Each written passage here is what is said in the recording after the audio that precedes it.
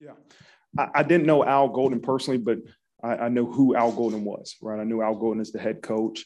Um, at Temple and at Miami, um, and had an unbelievable reputation.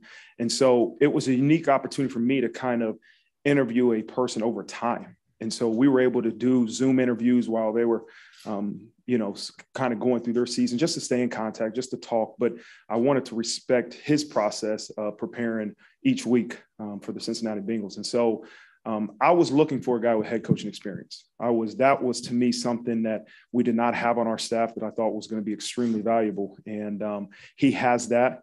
But also a guy that has intelligence. The more we met, the more we talked, I learned right around right away this this person understands football. He understands scheme, and and you know I was also looking for a person that didn't want to come in here and just drop his playbook, right, and say, hey, this is what we're doing. No, Al Golden was a guy that said, Hey, let me evaluate what you all are doing. Let me evaluate your players and let's put together the best scheme.